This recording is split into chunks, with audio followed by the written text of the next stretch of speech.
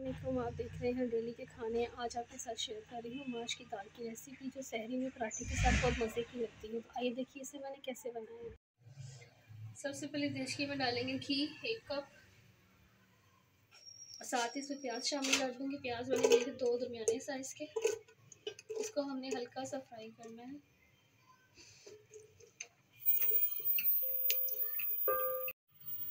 प्याज फ्राई हो रहा है इसमें डाल दूँगी थोड़ा सा ज़ीरा। आधा चाय का चम्मच। साथ में डाल देंगे इसके अदरक लहसुन कुटा हुआ। ये एक खाने का चम्मच है।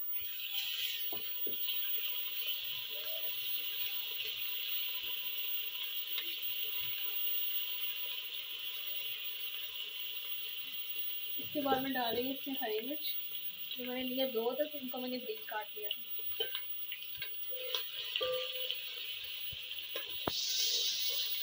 थोड़ा सा इसको भूनते हैं। भुनने के बाद इसमें मैं डाल रही हूँ टमाटर। मैंने दो दिन लिए थे दरमियाने साइज़ के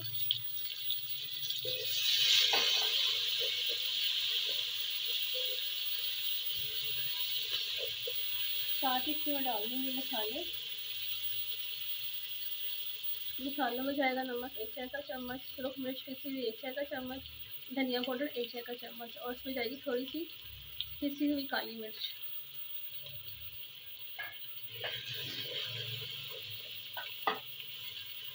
पानी शामिल करेंगे।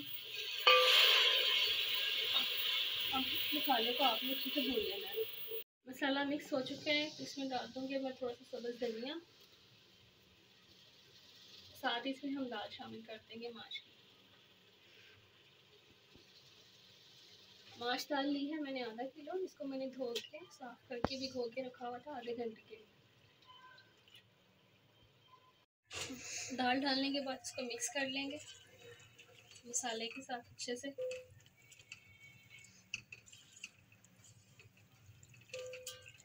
अब इसमें पानी शामिल करते हैं। इसमें पानी शामिल करेंगे इतना, इसमें दाल डूब जाए। अब हमने इसको कवर कर देना तकरीबन 25 मिनट के लिए। दाल का पानी खुश्क हो चुका है, थोड़ा सा पानी इसमें बाकी है अभी। इसमें डाल दूँगी सब्ज़, धनिया, मज़ीद थोड़ा सा ऊपर। दो दस सब्ज़, मिर्च, साबित डाल देंगे। और ये है मेरे पास कसूरी मेथी, एक चाय का चम्मच, वो डाल देंगे। अब इसको दम पे लगाना है, मज़ीद पाँच से छः मिनट के लिए।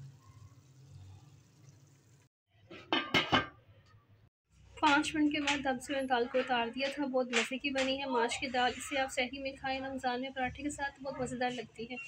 मेरी ये रेसिपी आपको अच्छी लगी तो मेरे चैनल डेली खाने को लाइक करें शेयर करें सब्सक्राइब करें। मुझे दीजिए इजाज़त। अल्लाह से